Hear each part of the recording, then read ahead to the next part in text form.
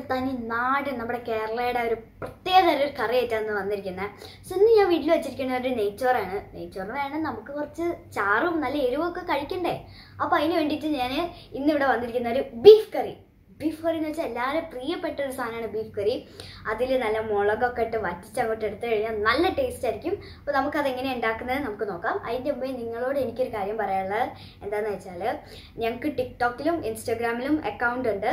ടിക്ടോക്കിലെ account ഇതാണ്. ഇൻസ്റ്റാഗ്രാമിലെ account ഇതാണ്. So let's move the kitchen with ingredients അപ്പോൾ എളുപ്പത്തിൽ ഒരു ബീഫ് കറി ഉണ്ടാക്കാൻ വേണ്ടിയിട്ടുള്ള ഇൻഗ്രീഡിയൻസ് എന്തൊക്കെയാണെന്ന് ഞാൻ ഇപ്പോൾ പറഞ്ഞുതരാം. അതായത് തേങ്ങ തക്കാളി കരിവേപ്പില ഉള്ളി ഗാർലിക്ക് ഇഞ്ചി പച്ചമുളക് പിന്നെ ബീഫ് ഇതും കൂടാതെ തന്നെ മസാലകളുണ്ട് മസാലകൾ ഞാൻ ഉണ്ടാക്കുന്ന ടൈമിൽ പറഞ്ഞുതരും.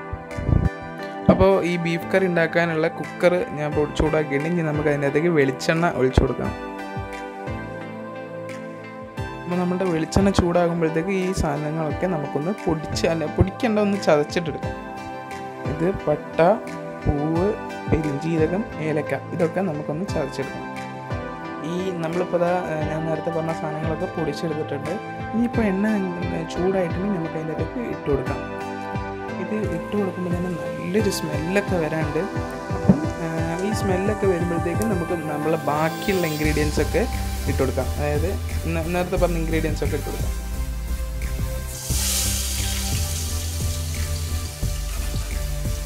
എന്നിട്ട് നല്ലോണം ഒന്ന് വയറ്റി കൊടുക്കുക.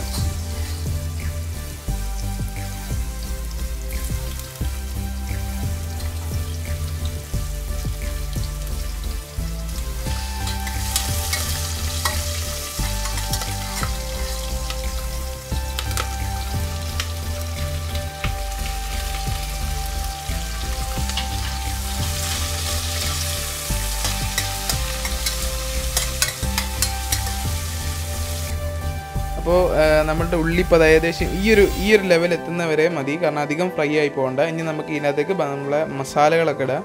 ആദ്യം നമുക്ക് മഞ്ഞപ്പൊടി.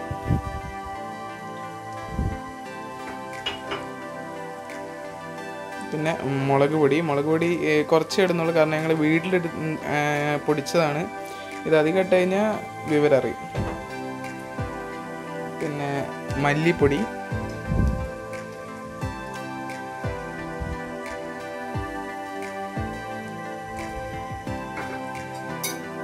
പിന്നെ ആവശ്യത്തിന് ഉപ്പ്.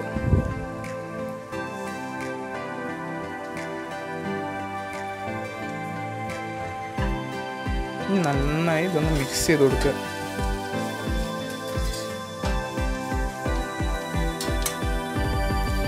അവസാനമായിട്ട് നമ്മൾ തക്കാളി ഇട്ട് കൊടുക്കുക. നല്ലോണം ഒന്ന് മിക്സ് ചെയ്യണം എന്നിട്ട് നേരത്തെ ഞാൻ പറഞ്ഞോണം തക്കാളി ഇട്ടിട്ട് ഇതിന്റെ പച്ചമണം പോകുന്ന വരെ ഒന്ന് മിക്സ് ചെയ്യുക. അപ്പോൾ നമ്മളുടെ ഇതിന്റെ പച്ചമണമൊക്കെ മാറിയിട്ടുണ്ട്. ഇനി നമുക്ക് ഇതിനകത്തേക്ക് ബീഫ് ഇട്ട് കൊടുക്കാം.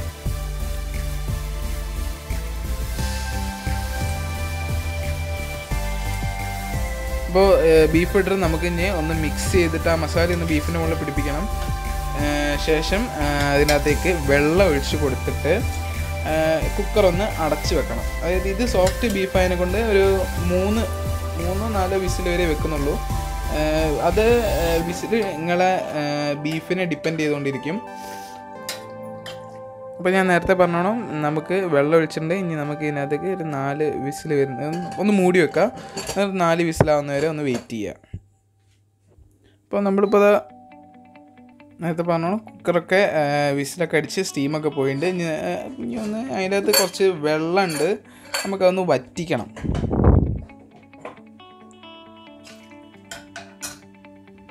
നമ്മൾ കുക്കറിന്റെ ടോപ്പൊക്കെ ഊരി മാറ്റി ഇപ്പോൾ ഒന്ന് വെള്ളം വറ്റിക്കുകയാണ് അപ്പോൾ അധികം വറ്റിക്കേണ്ട കുറച്ച് മാത്രം വറ്റിച്ചാൽ മതി. കാരണം കറിയാണ് ഉണ്ടാക്കുന്നത്. അതേപോലെ ഈ ടൈമിൽ നമ്മൾ എന്താ പറയുക നമ്മൾ മസാ മസാലകൾ എന്തെങ്കിലും കുറവുണ്ടോന്നോ അതോ ഉപ്പോ മുളക് പൊടി അങ്ങനെ എന്തെങ്കിലും കുറവുണ്ടെങ്കിൽ അതൊക്കെ ഇട്ടൊന്ന് അഡ്ജസ്റ്റ് ചെയ്യാം.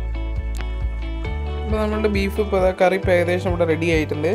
ഓൾമോസ്റ്റ് നമ്മൾ ഫൈനൽ സ്റ്റേജിലെത്തി ഇനിയിപ്പോൾ അധികം വറ്റിക്കുന്നില്ല. കാരണം എന്താണെന്ന് വെച്ച് കഴിഞ്ഞാൽ ചിലപ്പോൾ അത് കുറച്ചും കൂടെ കഴിഞ്ഞാൽ ഒന്ന് കുറുകി ഒന്ന് മുറുകും. അപ്പോൾ കഴിക്കാൻ ഒരു ടേസ്റ്റ് ഒക്കെ ഉണ്ടാവില്ല. അപ്പോൾ ഈ ഒരു ഇത് മതി. വെള്ള വെള്ളത്തിന്റെ ഒരു ഇത്ര തന്നെ വേണം.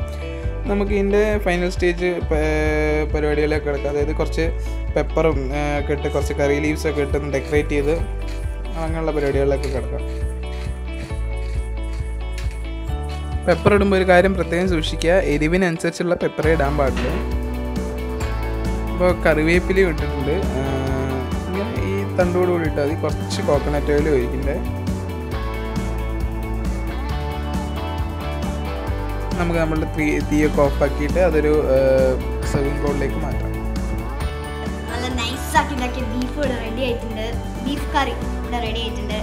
നെയ്ച്ചോറ് മാത്രമല്ല ഇത് ചപ്പാത്തി പൊറോട്ട. ഇതിന്റെ കൂടെ ഒക്കെ കഴിക്കാൻ ഭയങ്കര ടേസ്റ്റ് ആയിരിക്കും ഇതൊക്കെ taste ചെയ്യും.